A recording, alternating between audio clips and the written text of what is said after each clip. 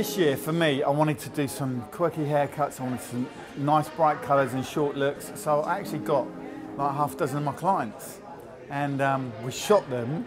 And we, it was a gamble, but when we shot them, they looked fantastic. And uh, so we went with it. In fact, in my collection, I had two professional models. So it was brilliant, absolutely brilliant. What I wanted to get across it was about my actual hairdressing skills, which I'm quite a strong cutter with this, because obviously I've, I follow Sassoon and I've had a bit of a Sassoon background, and you can't do that with pro models. And it, I find if you've got a professional model that you actually cut into a beautiful shape, um, everybody's using it. So she goes on everybody's collection, and I wanted something that was more personal to me.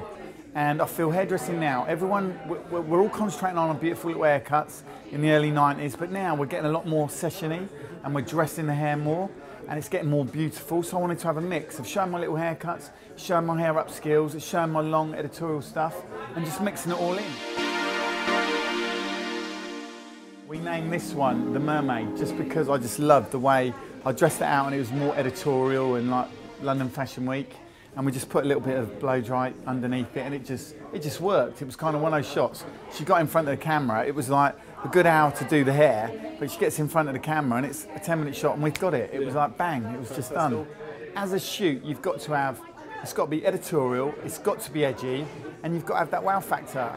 And I needed more edge this year, so with the haircuts and using clients that I can actually cut and colour the hair, that gave me a little bit of edge to it. So I had my beauty in there, but I also had the edge, and I think that's so important. You've got to have a good contrast across the board.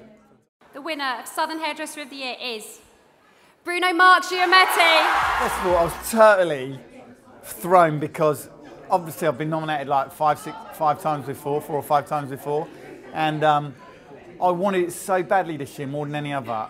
And what threw me, Jane threw me this year, is because I didn't look at the programme. So I'm sat around the table, I've eaten my dinner, and um, it turned around and said, and the next nominee is Southern. I thought, what? Give me that program. And then when they called me out, everything was like, I felt like I was blah, blah, blah. It was like, but I was so excited and adrenaline, you know, no one can take that feeling away. I mean, some of my team have had it, like young Dan Spiller when he won Newcomer last year.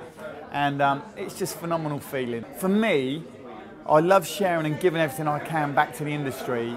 But my motto is, learn, share it, and share some more. And, and that's how I work. And I, I can't, can't say how it's changed my life. It's just amazing. I love it. It's brilliant.